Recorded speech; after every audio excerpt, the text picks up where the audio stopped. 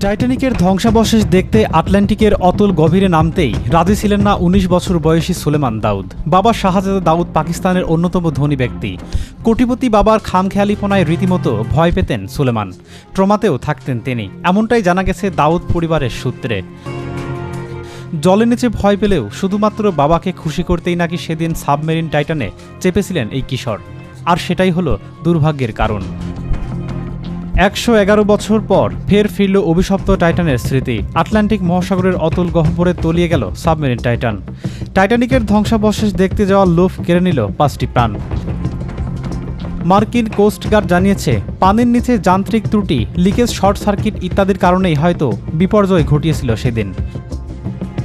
গত রবিবার থেকে নিখোঁজ ছিল ওয়াশেনগেট এক্সপিডিশন সংস্থার সাবমেরিন টাইটান। তন্ন তন্ন করে আটলান্টিকের তলদেশে খুঁজেও ডুবো জাহাজটিকে দেখতে পাননি কানাডার নৌসেনারা ও অভিজ্ঞ ডুবরীরা।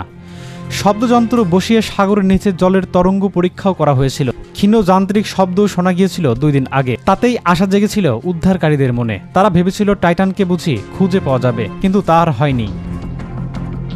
টাইটান জলে নামার চার দিনের মাথায় জলের বারো হাজার পাঁচশো ফুট গভীরে টাইটানিকের ধ্বংসাবশেষের কাছেই হদিস মেলে টাইটানের। দুমড়ে মুচড়ে যাওয়া ডুবোজাহাজটি টাইটানিকের থেকে ষোলোশো ফুট দূরে পড়েছিল। অভিযাত্রীদের এখনও উদ্ধার করা সম্ভব হয়নি। আটলান্টিকে কেন ডুবল ডুবোজাহাজ টাইটান? সম্ভাব্য কারণ ব্যাখ্যা করেছেন বিভিন্ন গবেষকরা।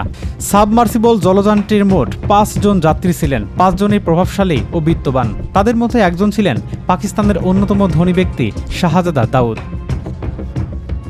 পাকিস্তানের শক্তি, কৃষি, পেট্রোরসায়ন, টেলিকমিউনিকেশন ক্ষেত্রে বিনিয়োগ করছে তার সংস্থা।